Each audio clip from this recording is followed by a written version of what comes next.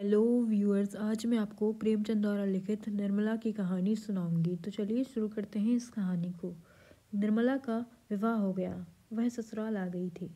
वकील साहब का नाम था मुंशी तोताराम।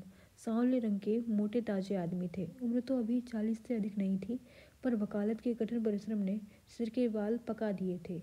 व्यायाम करने का उन्हें अवकाश नहीं मिलता था।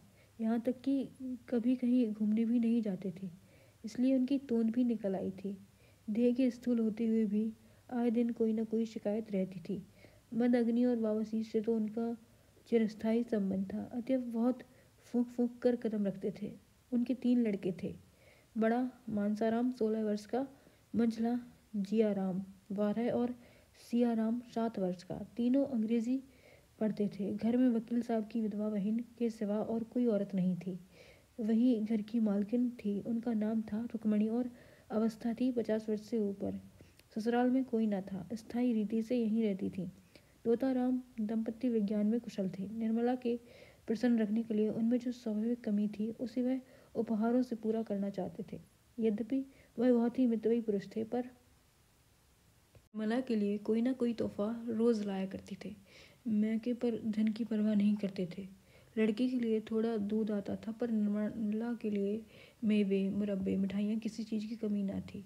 अपनी ज़िंदगी में कभी शहर तमाशे देखने ना गए थे, पर अब छुट्टियों में निर्मला को सिनेमा, सर्कस, थिएटर दिखाने ले जाते थे। अपने बहुमूल्य समय का थोड़ा सा हिस्सा उसके साथ बैठकर ग्रामोफोन बजाने में व्यतीत किया करते थे, लेकिन निर्मला को न जाने क्यों? तोताराम के पास बैठने और हंसने बोलने में संकोच होता था।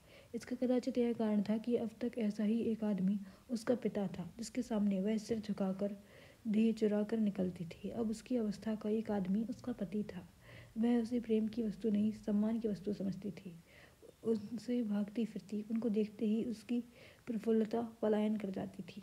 वकील साहब को दंपत्ति विज्ञान ने सिखाया था कि युवती के सामने खूब प्रेम की बातें करनी चाहिए, दिल निकाल कर रख देना चाहिए।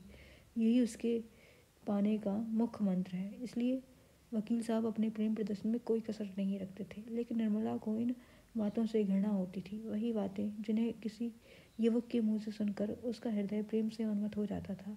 वकील साहब के मुँह से निकलकर उसके हृदय पर सर के समान आघात करती थी। उनमें रस ना था, उल्लास ना था, उन्माद ना था, हृदय ना था, केवल बनावट थी, धोखा था और शुष्क, नीरस शब्द भंडार उसे इत्र और तेल बुराना लगता था। शहर तमाशे बुरे न लगते थे बना श्रृंगार भी बुरा न लगता था।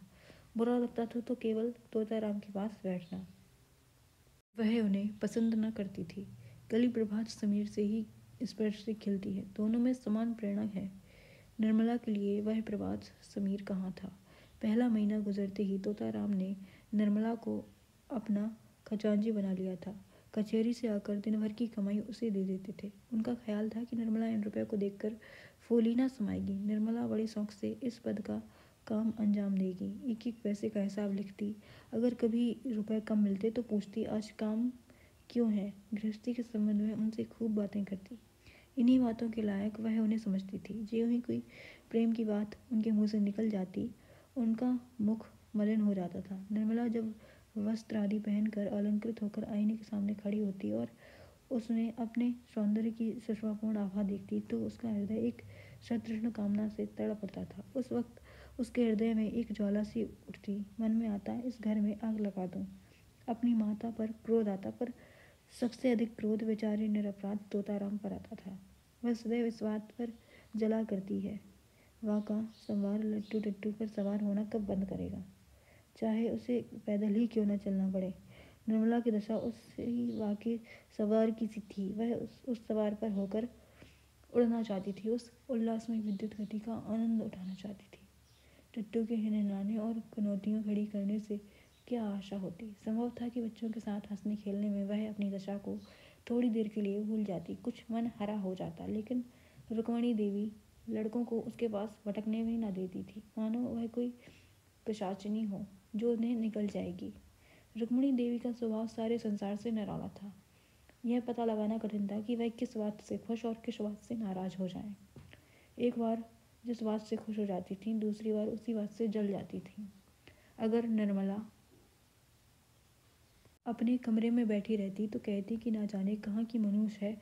अगर वह कोठे पर चढ़ जाती या महरियों से बातें करती तो छाती पीटने लगती कि लाज नहीं है, ना शर्म है, निगोड़ी ने हया भून खाई। अब क्या कुछ दिनों में बाज़ार में नाचेगी जब से वकील साहब ने निर्मला के हाथ में रुपए पैसे देने शुरू किए, रुक्मणी उसकी आलोचना करने पर आरूढ़ हो गई। उन्हें मालूम होता था कि अब प्रलय होने में बहुत कसर नहीं रह गई है। लड़कों को बार बार पैसों की ज़रूरत पड़ती। जब तक खुद स्वामी थी, उन्हें बहला दिया करती थी। अब सीधे निर्मला के पास भेजती थी निर्मला को लड़कों के चटोरापन अच्छा ना लगता था।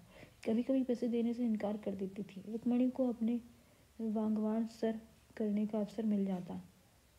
है इसी तरह के ताने निर्मला को प्रतिदिन दिया करती थी। एक दिन उसने अपने पति से कहा कि, जरा आप जीजी को समझा दीजिए, क्यों मेरे पीछे पड़ी रहती हैं? तोताराम ने तेज होकर कहा, तुम्हें कुछ कहा है? उन्होंने रोज़ ही कहती हैं, बात मुँह से निकालना मुश्किल है। अगर उन्हें इस बात की जलन हो गई है कि यह मालकिन क्यों बनी हुई है तो आप उन्हीं को रुपए पैसे दीजिए। मुझे नहीं चाहिए। यही मालकिन बनी रहे। मैं तो केवल इतनी चाहती हूँ कि कोई मुझे ताने ना दिया करें। तोताराम ने रुक्मणी को समझाया, पर वह नहीं समझती थी। उस दिन अपने प्रगाढ़ प्रणय का सबल प्रमाण देने के बाद मुंशी तोताराम को आशा हुई थी कि निर्मला के मर्म स्थल पर मेरा सिक्का जम जाएगा, लेकिन उनकी यह आशा, लेस मात्र भी पूरी नहीं हुई, बल्कि पहले तो वह कभी कभी उनसे हंस बोल लिया करती थी। अब बच्चों के ही लालन पालन में व्यस्त रहने लगी। जब घर आते, बच्चों को उसके पास बैठे पाते। कभी देखते कि उन्हें ला रही है, कभी कपड़े पहना रही है, कभी खेल खिला रही है, कभी कहानी कह रही है। निर्मला का दृश्य हृदय प्रणय की ओर से निराश होकर इस अवलंब ही को गनीमत समझने लगा। बच्चों के साथ हंसने बोलने में उसकी मात्र कल्पना तृप्त होती थी। पति के साथ हंसने बोलने में उसे जो संकोच, जो अरुचि तथा जो अनिच्छा होती थी, यहाँ तक कि वह कर भाग जाना चाहती थी। उसके बदले बच्चों के सच्चे, सरल स्नेह से मन प्रसन्न हो जाता था। पहले मनसाराम उसके पास आते हुए कुछ झिझकता था, लेकिन मानसिक विकास में पाँच साल छोटा। हॉकी और फुटबॉल ही उसका संसार। उसकी कल्पनाओं का मुक्त क्षेत्र, उसकी कल्पना का हरा भरा बाग था। एक गहरे बदन का छरहरा सुंदर, हसमुख, लज्जाशील बालक था, जिसका घर से केवल भोजन का नाता था। बाकी सारे दिन न जाने कहाँ घूमा करता था। निर्मला उसके मुँह से खेल की बातें सुन सुनकर थोड़ी देर के लिए अपनी चिंताओं को भूल जाती थी और चाहती थी कि एक बार फिर वही दिन आ जाते, जब वह गुड़िया खेलती और उसके ब्याह रचाया करती थी और जिससे अभी थोड़े आ बहुत ही दिन गुजरे थे। और इधर तोताराम निर्मला को खुश करने के लिए प्रतिदिन अलग अलग तरकीबें लगाया करते थे कि वे किस तरह उसे खुश कर पाएँगे।